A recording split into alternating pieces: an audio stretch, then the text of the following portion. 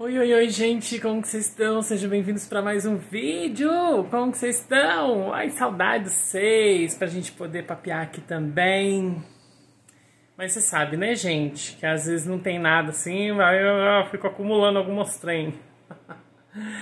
Ai, mas eu já vou começar respondendo uma pergunta que me fizeram a respeito daquele desodorante, lembra? Que foi aquele desodorante clareador da, da Nivea, deixa eu ver qual que é mesmo. É esse, não. Esse mesmo. Esse aqui, ó. Gente, perguntaram assim, Adriano, e aí? Você não contou se clareou ou não suas axilas? Então eu não vou mostrar minha axila, gente, porque eu também não mostrei aquele dia para comparar o antes e o depois. Ontem eu tava tomando banho. E aí eu fui e lembrei de olhar. Eu achei assim que deu uma leve amenizada, sabe, na axila. Não que clareou, oh meu Deus do céu, ficou uma luz. Não. Mas porque aqui fala que você usando duas semanas já dá para ter uma grande diferença. Clareia, previne, protege. Duas semanas de uso, olha só, pele mais clara em duas semanas. Mas aí eu lembro que depois que eu gravei aquele vídeo mostrando esse daqui que eu ia começar, eu lembro que alguém falou assim, Adriano, o melhor mesmo é aquele antitranspirante, o de cremezinho. Ó, gente, é impressionante. Eu sento aqui para poder, o REC já começa, ele quer participar também. Porque vai passar o caminhão do, da coleta, né? E hoje é segunda. E aí o que acontece? É, aí falaram isso, que o melhor mesmo é aquele. o de creminho. Mas eu não vou comprar, não, sabe, gente? Não vou, não vou usar esse mesmo, e aí conforme... A única coisa que esse daqui, eu agito, tudo normal assim, né? A única coisa que esse eu notei que não, é, acontece a mesma coisa com os outros. Aqueles outros lá que me sufocavam um pouco. Esse daqui me sufoca um pouco também. Né? E olha pra você ver, a Nivea, hein? Já tem o outro Nivea que não acontece nada disso. Eu coloco, só que eu vou usar esse porque eu senti que clareou um pouquinho. Então, se eu continuar usando, acho que ele deve estar tá na metade para baixo, assim, ó. Já deve estar tá quase acabando, que eu uso todo dia, né? Então, assim, respondido, tá, gente? Eu Vocês acreditam, gente? Eu tinha até esquecido esse trem. Com tanta coisa que aconteceu nos, nos últimos dias, nas últimas semanas, que eu, meu Deus do céu, eu esqueci completamente, entendeu? E o que mais que eu ia falar, meu pai? Não tem muito o que falar assim, porque também a gente não tem feito grandes coisas, né? Tipo, sair, é, passear, essas coisas a gente não tem feito. Eu vou, vou gravar aqui mesmo, tá, gente? Que eu vou tomar um banho. Agora são sete. Peraí. Ai. Sete e dezessete. Daí eu tomei um cafezinho agora com a dona Neuza. E autoescola. Vamos lá pra autoescola aí, Adriano aí, gente. Essa autoescola que não acaba nunca. gente, olha só. Eu vou falar uma coisa. Eu não sei o que acontece. Essa noite eu tive, eu tive pesadelos, assim, sabe? Com a autoescola. Porque tá, tá acabando, né? Ou seja, tá chegando o dia. Só que assim, eu... Essa semana eu termino. Se Deus quiser, as aulas, né? Prática. Só que daí é que negócio, ao mesmo tempo que eu falo, nossa, já vai acabar mesmo, porque foi muito rápido, né? Eu comecei no dia 10 de fevereiro, hoje é dia 1 já de março. O único intervalo muito longo que teve foi do dia 10 para outro a outra aula, assim, né? Que foi aquele período do carnaval. E aí, fora isso, deixa eu colocar essa luz aqui, porque daí acho que fica mais claro, né, gente? Coloca assim, ó. Pronto! Ai, que belezinha, gente. Não fica legal? Eu poderia até colocar o celular ali também, o que vocês acham? Mas eu não sei onde que eu vou pôr. Adriano, cadê seus tripés? Mas eu tô na cama. Tô com preguiça, gente. Mas eu vou segurar aqui. E aí, gente, é... já tá acabando. E aí, quando foi ontem, fui assistir alguns vídeos aqui no YouTube sobre... Mas assim, não é qualquer vídeo, né? Não é de qualquer lugar. Eu procurei... É canal legal, bacana, certinho, sabe? Dando dicas no dia do, do exame. E, gente, olha, eu agradeço todas as mensagens que vocês mandam aí dizendo que vai dar tudo certo. Muito obrigado. Porque isso é, é um incentivo, assim, né? E é muito bom, né? A, dá, encoraja mais, assim. E, e vai dar, se Deus quiser, né? A gente tem que pensar positivo. Mas hoje eu fui com um monte de perguntas, porque eu tive pesadelo essa noite. Eu acho que eu né, fiquei pensando tanto, tanto, tanto. E aí eu já cheguei lá, porque na sexta-feira, não sei se eu falei para vocês, mas na sexta-feira eu fiz aula à noite. E aí eu saí de lá, tudo.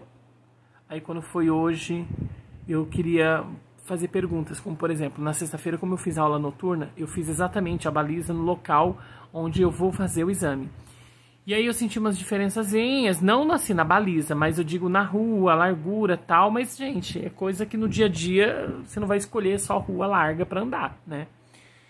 E aí eu falei, olha, eu saindo no dia do exame aqui, sabe aquelas perguntas assim que fica rondando na nossa cabeça, aquelas dúvidas? Ah, o examinador, ele vai perguntar um monte de coisa para mim. Ai, gente eu perguntei a respeito do. Olha só pra você ver, porque eu vi no vídeo e depois eu perguntei pro meu instrutor, né? Eu falei assim: olha, por exemplo, no dia do exame, eu vou fazer tudo que eu, tô, eu aprendi, né? A sequência certinho, antes de colocar o cinto, olhar retrovisor, verificar, né? Tudo, o banco, o encosto do banco. Aí depois sim, porque não adianta colocar o cinto primeiro, porque depois você fica amarrado ali e não tem essa, essa liberdade de então ver tudo isso, retrovisor, banco, encosto, tal, tarará, tá tudo certo, então aí sim coloca o cinto. Aí depois, né, é, pergunta se já pode ir, tá tudo certo. Aí eu perguntei, e se caso o examinador tiver sem o cinto? Eu falo para ele, né, olha, você poderia colocar o cinto ou não? Ele, olha, eu acho melhor não. Porque na verdade ele já é examinador, né, gente? Então assim, ele sabe que ele tem que colocar o cinto então, assim, eu, eu entendo que ele pode estar tá fazendo uma pegadinha né, comigo, para ver se eu tô atento, mas também não. Então, assim, se ele autorizar, pode ir, eu vou. Entendeu? E seja o que Deus quiser. Ai, gente, olha, são tantas dúvidas que passam, pairam, né, na nossa cabeça, pelo menos na minha, que eu, eu fico imaginando, assim, lógico, né, gente, a gente vai se preparando psicologicamente também. Igual essa semana, graças a Deus, assim, eu vou ter aula todos os dias, menos na sexta, né, que termina na quinta. E aí eu já tô querendo ver se vai ser possível agendar já uh, o exame para outra semana, porque como eu vou terminar na quinta, então meu nome já libera na sexta-feira. Então, por essa razão, muito provavelmente eu não vá conseguir já é, fazer o exame no, na outra semana, porque tá muito em cima da hora, entendeu? e aí tá muito em cima, muito próximo. Aí talvez vai mandar para outra semana, ou seja, mais 15 dias. Então eu vou querer fazer pelo menos duas aulas assim de reforço, né, tipo extra. E aí já vi lá na autoescola tudo, tipo na véspera, sabe, do exame. Eu acho que é importante. Porque daí eu vou me sentir mais seguro do que ficar 15 dias, né, assim, e de repente não é que eu vou esquecer, mas eu acho melhor, né, gente? Pelo menos assim, vai ficar quentinho. Se eu pudesse fazer no mesmo dia do exame, só que aqui o exame é na parte da manhã. Então, assim, enquanto isso não acabar, e outra, né? Tem essa coisa da pandemia. Vocês estão vendo aí nos noticiários, né, gente, que aqui no Brasil, no, gente, eu não consigo entender. Juro que eu não consigo entender. Eu não consigo entender como que nós temos um povo tão maravilhoso, mas não é só no Brasil, tá? Mas eu tô falando do Brasil porque é no país que a gente vive, né, gente? Mas assim, nós temos um povo tão maravilhoso, mas eu sei que nós, nossa, todo mundo já tá não aguenta mais. Né? Ninguém aguenta mais esse negócio de corona, esse negócio, ninguém aguenta. Isolamento, distanciamento. Só que é necessário. Né? Então, assim, por que, que esse povo fica fazendo festa, gente? Por que, que esse povo fica, sabe? Um monte de gente sabe que não pode ficar aglomerando. Aí olha só o resultado, quantos né, leitos aí, olha só cidades fechando novamente. E agora para ter regras mais rígidas. Né? E aí o que acontece? Aí eu fico preocupado também com esse negócio da autoescola. E se fecha tudo de novo. Aí vai esticar mais um pouquinho. Gente, eu não aguento. Sabe, eu não aguento mais essa história. Eu falei pra My Love hoje, eu falei assim, gente, eu não aguento mais essa história de autoescola. Meu Deus, desde o ano passado, desde junho do ano passado, gente, eu tô, eu tô, eu tô amarrado com essa escola, escola. Sou eu sozinho? Não, tem um monte de gente também. Mas vocês entendem? Chega uma hora que cansa, a gente quer mudar o disco, tocar a vida, com, né? E aí eu fico com medo dessa coisa de fechar de novo. Daí se fecha de novo, vai saber quando que vai abrir, vai atrasar tudo. Ai, minha Nossa Senhora, mas não vai precisar, né? Se Deus quiser, porque olha só, a Páscoa está chegando. E a gente sabe que tem gente que não sei que planeta que vive, que não compreende, né? Qual é a dificuldade de não aglomerar, né? Igual, por exemplo, eu vi aonde, meu Deus. Não vou lembrar onde foi que eu vi. O simples fato de você usar máscara indevidamente, indevidamente, assim, não. Errada, sabe assim? Aqui, ó. E deixa o nariz pro lado de fora, já tá errado. Sabe? Tem lugares que o povo. Ai, é tão difícil, não vou nem perder meu tempo, minha saliva, sabe, gente? De verdade. Só que com isso atrasa a vida de tantas pessoas que estão fazendo correto. Tá tentando fazer a coisa bonitinha, entendeu? Por causa de burrice, por causa de, sei lá, preguiça muitas vezes, né, das pessoas. Mais uma vez eu digo, todo mundo já está cansado, mas o que vai fazer? Por exemplo, vacina. Gente, vacina, não sei quando que a gente vai tomar. Eu mesmo, com 40 anos, 43, né? A primeira dose. Porque a segunda sabe lá Deus também quando. Então, assim, é só Deus mesmo para ter misericórdia da gente, sabe? Só Deus, porque Ai, ai, eu tenho tanta vontade de fazer igual, fazer um monte de coisa, sabe? Sair, gravar fora, levar vocês. Mas aí depois eu penso que eu vou ficar mexendo, por exemplo, se eu vou no mercado, eu tenho que pegar lá no, no, na, no, nos produtos, mexe no carrinho, aí mexe no celular, sabe? Não tem como. Vocês entendem, gente? Sabe? Não tem como. Daí eu quero fazer um passeio. Tô doido pra fazer um passeio. Só que a consciência fala mais alto. Sabe? Como que eu vou passear nesse, nessa situação? Vontade me falta. Sabe? E, e, parece que as coisas estão ficando cada vez mais assim, mais, mais, mais difíceis, né? Em vez da gente ver notícias boas, legais, assim, não. Não é só notícia boa, não. Infelizmente, né? Ai, tá tão difícil, né, gente? Mas, ó, uma coisa que, igual eu tava rezando o terço, é, é, na hora que eu tô rezando o terço, assim, é um momento que eu sinto tanta paz, sabe? É um momento onde realmente eu me, me abasteço novamente, né? Porque é muito bom. Independente da religião, né? Eu sei que tem várias religiões aí, várias pessoas de vários, né? Enfim. Mas eu me sinto muito bem quando eu tô rezando o terço, sabe?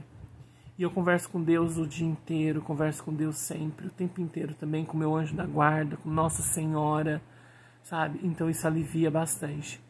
Eu imagino uma pessoa que de repente não confia tanto assim, não acredita tanto em Deus, ou sei lá, né? Porque é difícil, mas tem. E numa situação como essa que nós estamos vivendo, né? Nessa pandemia, acho que fica um pouco mais difícil, né, gente? Você não ter em, em que se apoiar, em, que, em quem acreditar, né? Que, que vai melhorar. A gente tem que acreditar nisso, né? Igual, agora voltando para a autoescola, a gente tava conversando eu com o meu instrutor, né? A gente tava falando essa coisa de que Deus, né, muitas vezes quando a pessoa repete, assim, repete que eu digo é reprovado. Não, parece que Deus não está ajudando. Não, Deus está ajudando, mas a gente tem que fazer a nossa parte também, né, gente? Prestar atenção, né? E, e é legal, eu gostaria de estar fazendo todos os dias assim, mas eu sei que às vezes pode até cansar pode ter gente que fala assim, ai, não aguento mais essa história desse, dessa outra escola. Ai, meu Deus, o que, que eu vou mostrar então?